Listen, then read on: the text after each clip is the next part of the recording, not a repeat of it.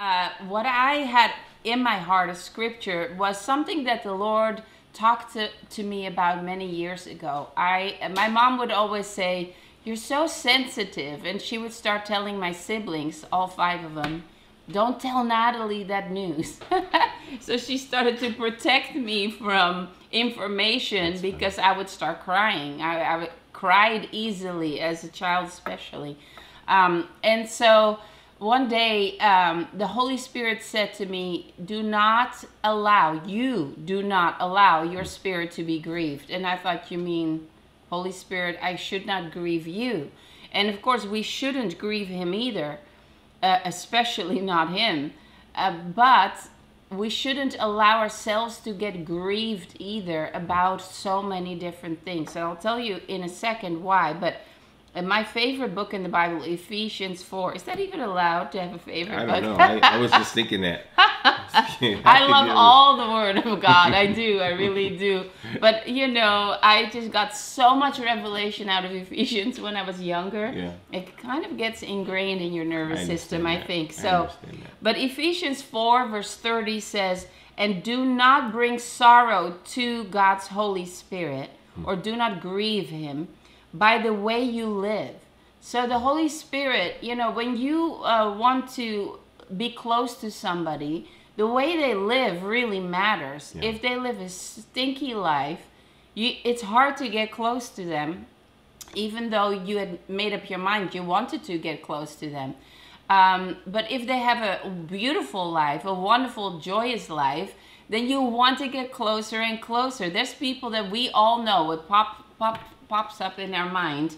Oh, that person is really great to Really be around. them, yeah. And then we know people that, you know, those people are not so fun to be around. It's a chore. It's hard work. You ha- you have to constantly turn the conversation. You have to constantly tur- shut things off, you know.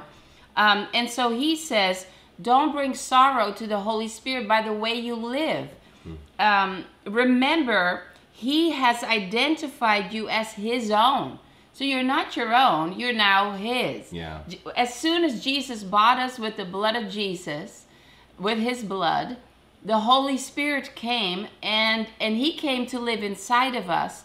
And then there's also a baptism that we are that we are celebrating next Sunday where he came in the upper room and and a wind came and it was just you know the doors and windows probably flew open and they all got filled with the holy spirit and tongues of fire appeared on their heads uh, that's so incredible i've seen some Very pictures powerful, of yeah. some african meetings where people are taking pictures and these people all have fire on their heads in wow. this in this prayer meeting That's it's really amazing yes and so, um, so he says he has identified you as his own. So now you're part of the family of God. You can't live any kind of lifestyle anymore. The Holy Spirit, who not only wants to be close to you, he wants to live inside of you, hearing every thought. Come on, knowing every motivation, knowing every intention, knowing every plan, and knowing every motivation Yeah, why we're doing yeah. things. He has identified us as his own, and we he wants us to be just like him. He wants us to live in a way that is pleasing to him. And he says he has identified you as his own, guaranteeing that you will be saved on the day of redemption. That's why he lives inside of us. With his power, we can live a saved life. We can live out this salvation, the Bible says, with fear and trembling. Yes. Making sure every day I am making sure that I'm walking in salvation. So. That I'm not walking in the world anymore. That person is dead. But I'm alive to God now through Jesus. And so, you know, I was sitting in my chair praying, and the Holy Spirit said, This was years ago, you do not, you, it's on me. Do not allow your spirit to be grieved. Well, hmm. you know, I didn't know what that meant or how I did that. How do I grieve? Obviously, I have an issue with grieving my spirit because otherwise he wouldn't bring it up. But as I went on, you know, every time it would happen, he would point at it and go, Now you're doing that. good. And, you know, my thing my husband, he knows I'm an investigator. If I don't understand something, I'm going to investigate. And it's also part of the gift of a teacher, you know? Yeah, it's like, what? Th- th- I don't know how this works. Wait. And then I'm going to go into it until I do know. I don't give up. I'm like a bulldog on that one thing I don't know. but that also goes into a lot of other areas. I, I've done that with family. I mean, I think I know probably 10 times more than most of my siblings know about my our heritage family heritage i just love finding out so what about the grandparents what about the great grandparents what about their great grandparents i've gone all the way into like ancient germany and france you know and i know so many last names and their jobs and so and so was a mayor and i know all this kind of stuff. Why? Why do we why do i do that? I don't know. But some information grieves us you Yeah. know and sometimes we can we can investigate things or look at things especially with social media nowadays we can get so grieved upsetting come on all of our fellow pastor friends know this it's not good to investigate your church members And bosses as well. bosses do that People are Um, getting fired because of those. Oh my goodness. And and it's okay if something pops up and you you know, you happen to see something, take it to prayer. This is the key. If you do receive information that is not good, then take it to prayer. The Bible says, "Roll all your cares upon the Lord, for he cares for you. Let him care about it." Um, and then the peace of God will will keep your guard your heart and minds in Christ Jesus. Now, why does he want me to not be grieved in my spirit? It's because out of my spirit flow all the issues of life.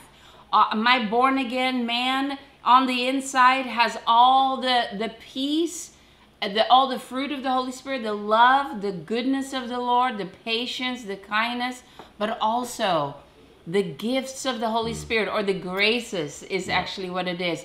The outflow of the Holy Spirit wanting to work with us Yes. flows from the inside. And when you're really upset, you're grieved to the point where you're either mad or disgusted or, or sad. Uh, the enemy uses those things to deter our attention from what's really happening right now. The Holy Spirit has something to say to us all the time. Yeah. But when your head is screaming about an issue that's grievous to you, you can't even hear him. You're completely missing the mark. And so today I want to challenge you to a lifestyle where when you receive information and it's negative, the Bible tells us not to think about things that are that way, but to think about things that are pure and lovely and kind, praiseworthy, what we hmm. can thank God for. Think on these things.